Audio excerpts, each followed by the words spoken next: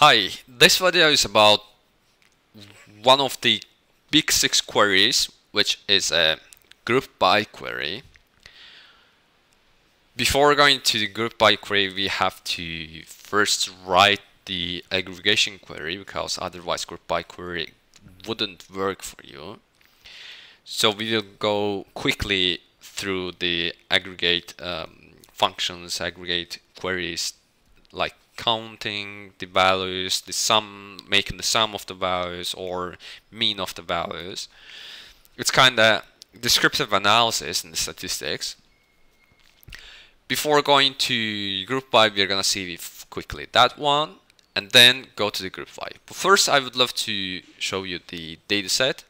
It's a publicly available dataset that, that I have created and um, posted in the Kaggle that you can download it if you want to work on this dataset and use uh, create here a new table if you are interested to understanding in understanding like how to create the employee table here as I did. You can go through my previous lectures in this playlist and see that video. It's complete completely free uh, completely easy. So I urge you to see that video too if you are interested to your work with this dataset. So let's go. We cannot let, let imagine that if you would love to know what is the the average pay for males and females in the company. How would we do that?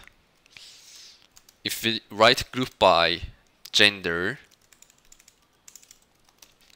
name of the column, it's gonna give error. It doesn't work. I'm not sure do we have the log of the error. The log says log says look uh, let me show you the log of the error. The log of the error says the expression select list is not grouped by clause, contains non-aggregated column company employee row ID. Non-aggregated column, what does it mean non-aggregated column? That means that there is a column that is not aggregated. So you, we are selecting all the columns that are not aggregated. So what the SQL should take into consideration in order to aggregate and give you two values grouped by gender. What to do? It doesn't understand. What you could do, let's say we told that we would love to know the the average pay by by by the by the gender. So we can write the average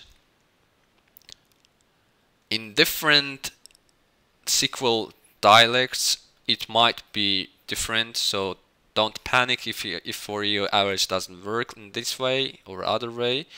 Just google it you'll find the answer. Mostly it's it's the same but you can always have this potential problem which is not a, a big problem but still you need to take into consideration. So we would love to get the average of pay for gender. Let's run this one as you see now we have the the average of pay for the for the values. Like if we are but we don't understand which one is the gendered male and which one is the female. That's why we are selecting also the gender that we are aggregating for. And here's it. Males are getting 79,000 of the salary Meanwhile, the females are getting 82,000 of uh, salary. It's almost the same salary. However, there's another concept that I would love to bring into your attention. It's alias. So as you see, it's it's not that nice to see the average and in the parentheses to see the brackets to see the pay. We would love to get the decent name for this.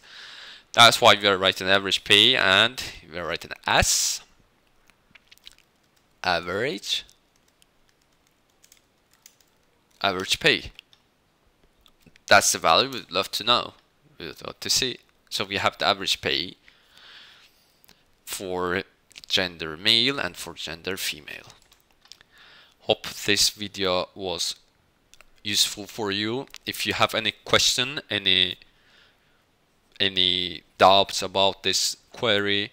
If you would love to know more about the some topics that you would love to study or if you have difficulties with, with some exercises or with some um, tasks you can always read, uh, leave a comment and I will try to make a video for that as soon as possible. I will try to explain you please um, don't forget to subscribe.